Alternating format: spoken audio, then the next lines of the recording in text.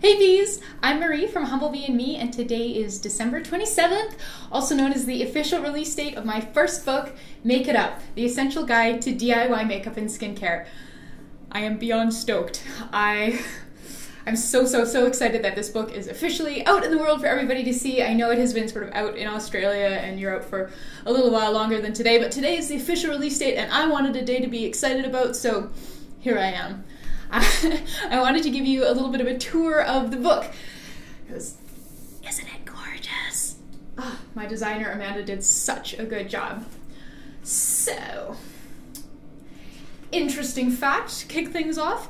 This page, depending on which print of the book you have, might look a little different than this. Um, we already had to do a second print run, uh, so this page changed for the second print run, so if your page looks like this, you have one of the very, very first copies, so lucky you.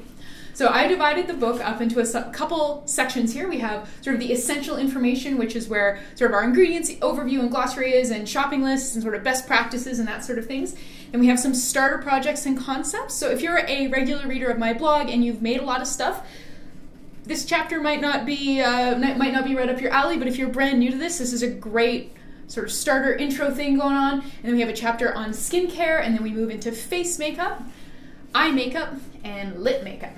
And then I have a list of a ton of stockists and suppliers at the back of the book, and then there's even more on my blog because that list just never stops growing. So, I, I did most of the photography on the inside of the book. Um, the lovely Michael Reale did the uh, did the model shots for the photo shoot that we did in Philadelphia.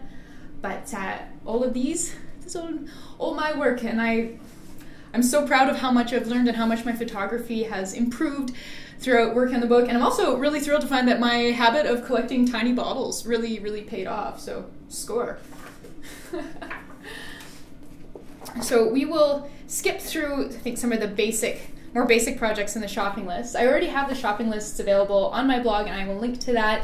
So if you are wondering what to buy and how much to buy and you know sort of specific like should i buy micronized or non-micronized titanium dioxide i have that all up on my blog with links to places to purchase everything all over the world so that will absolutely get you set up and it's probably a little bit easier than looking at the version in the book so let's start with some face makeup this is such a fun chapter for me I'm pale enough that purchasing purchasing makeup, purchasing foundation for me is hard. I'm generally too pasty for for the drugstore or for Sephora to really accommodate particularly well. My skin tone also changes enough during the year that I'm not a huge fan of repurchasing my foundation every three months because I'm now too pale or too tan for the color that I previously purchased. So now you can make your own foundation and you can reblend it whenever you want. Whenever you get a tan, you can continually reblend and you never have to worry about dropping 60 to $90 every three months every time your skin tone changes.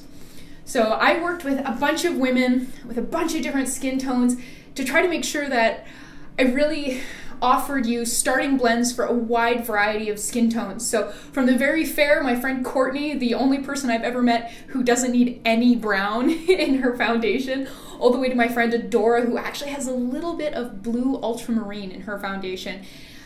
So, I've given you a ton of great places to start and then an entire page of tips on color blending. So, if you are struggling with that, hopefully, you, you know, there's tons of guidance there and also the ingredients are inexpensive. So just like have fun, play, take notes, and you can make an absolute rainbow of foundations.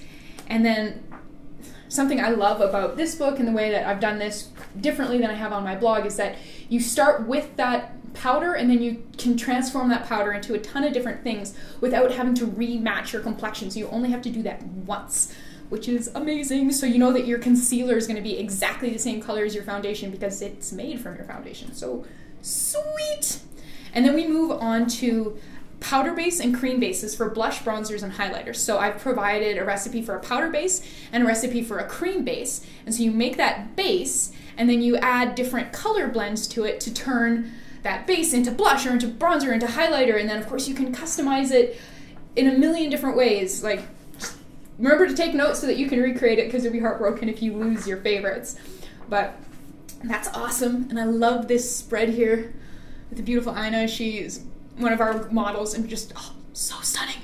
And mm, yeah, so she's wearing some of the bronzers from the book and of course foundations and everything. It looks absolutely gorgeous. And then we have an anti shine setting powder, of course, and yours truly. And then we're into eye makeup. So the eye makeup chapter was fun and challenging and terrifying and this primer here was like the last recipe of the book I figured out, and I kid you not, like four days before my manuscript was due. I was testing eye primer like a crazy person throughout the entire duration of this book, and I am thrilled to announce that I came up with something that really works and is really easy to make. I actually came up with two things that work, so woohoo! so I know a lot of you have asked for primer recipes. It's in the book.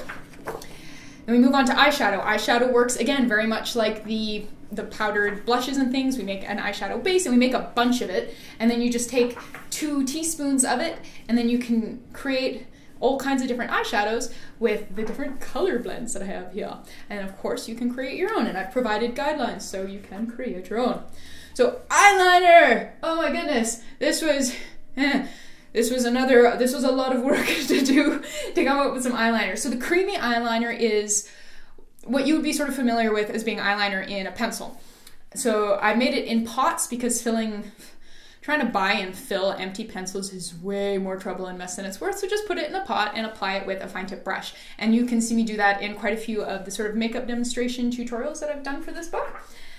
And you can make all kinds of beautiful colors, and then of course you can invent your own. And then there's a gel eyeliner, and this stuff is so cool so neat. Yeah, you can. This stuff wears really, really well even without primer, which I think is basically magic. And you can make them in a ton of different colors. They're super easy to make. You're basically going to make a gel base, portion out a small amount of it, and then add your pigments and some of your adhesion boosters to that, whisk it all together, and voila. And so it's like a water activated kind of gel eyeliner. So you get your brush wet, and then you can work it up and paint it on, and you can work up your own colors, and it's it's very cool. I think you'll like it. And then we have mascara. Totally new recipe from that's on the blog. Doesn't use any weird Australian clays. It gets its color from you know iron oxide, so it's not a concern. Um, yeah, I should reiterate that with the mascara and the gel eyeliner, these are things that go around your eyes and have water in them. So you gotta use a preservative and don't keep them forever. Like chuck them out after three months and make more. It's not hard. It's inexpensive. Eye infections suck. Just don't tempt fate. Keep everything as clean as possible when you're making them include a real broad spectrum preservative. So I'm recommending Liquid Germall Plus. Really, please don't use like a NataPres or any kind of more like natural preservative for this. Use something that works. Eye infections are natural too. No bueno. So purge often, make clean, use preservative, use common sense. Okay. And then we have a brow wax. So again, this is like a base with a ton of different color blends so that you can have, um, you know, whatever works for your particular complexion all the way through from fair to darkest. Uh, and I've actually I made most of them and put them in a little pouring paint pan from TKB, so I just sort of have all of them on hand all the time. And I tend to play with like three different ones depending on where my complexion's at and the look that I want. And then the last chapter, lip makeup. So we start with tinted lip balms, which uh, I've got a vegan and a beeswax base for that so that you can choose. Um, and then a bunch of different color blends. And then we do straight into a little bit of alkanet tinted as well. We only use the alkanet for this one recipe in the book, and I just included it because I thought it would be fun to have a little bit of, oh, hey, this color comes from herbs. But uh, if you don't want to make this one recipe, don't bother buying the alkanet root. Uh, and we have some lip scrubs. These are pretty similar to ones on my blog already, so they might look familiar. And then we move into lip gloss territory. And again, there is a beeswax lip gloss base and a vegan lip gloss base. So if you're vegan, you can choose vegan, and if you are not, you can choose whatever you have the ingredients for. And then some different color blends, and of course, a guide on how to invent your own, because that's a fun part. Lip stain. This is one recipe that really didn't change much from what appears on the blog because it's amazing.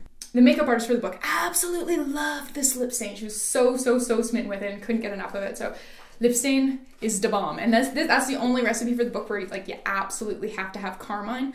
Uh, pretty much everywhere else in the book that calls for carmine you can use fd&c red number seven if you are vegan or if you think carmine is gross or if you just don't want to pay for it because it can be kind of pricey especially um, based on sort of what country that you live in. I know it's a lot cheaper in the states than it is in canada and sort of so on and so forth so yeah. And then lipstick. Again there's two bases. There is a longwear lipstick base and there is a creamy vegan base so choose your base and choose your lipstick blends. And I, I love these little these little color swatches that are just little smudges that I did um, with like a knife and took pictures of them, and then Amanda popped them in there, and they look great. And yeah, and I worked again with lots of different women to come up with a wide variety of colors. So this color, Adore here, my it's named for my friend Adora, who's a makeup artist who just oh my gosh, she just like absolutely fell in love with this this lipstick. I don't think I've ever seen her so excited. So I um proud of that blend. And then we move into lip paint. So a lot of you have asked me for sort of like a matte liquid lipstick, and this is this is kind of it. So it's like a it's not full on liquid, it's pretty pasty, but what's amazing about it is the wear time. Like, oh my heavens, you you put some of this on, the color as you can see is just like amazing and it like once it sets it's matte it stays like you wouldn't believe. You can put lip balm on over top of it and lip gloss on over top of it without it peeling off which i've heard is a problem with a lot of like more matte lipsticks and liquid lipsticks. And it just stays forever. I wore this to a pub crawl. I've worn this to like whiskey tastings. And you don't leave a lip print on a single glass. And your lips look amazing for hours. So this stuff is amazing. Um yeah. That's that's it. That's my book there's room at the back for you to make notes. So remember to take notes. Don't ever lose your favorite color formulations. And then there's a picture of me at the back that doesn't really look like me. This looks like my more glamorous older sister who, you know, taught me how to wear makeup. But it is me. Magic of makeup. Yeah. Anyhow, this is my book. I am very proud of it. I hope you love it. I hope you make all kinds of things that you can't get enough of and are super, super proud of. And if you have any questions, you know, please feel free to get in touch. I can't wait to hear what you think of this. I can't wait to see the things that you create. Please share your creations with me on my Facebook page or on, you can tag me on Instagram or Twitter. You can email me. Yeah. I hope you fall in love with making your own makeup. Thank you so much for watching and please subscribe. Check me out on you know Instagram and Twitter at Marie Rayma. And yeah, have fun making makeup.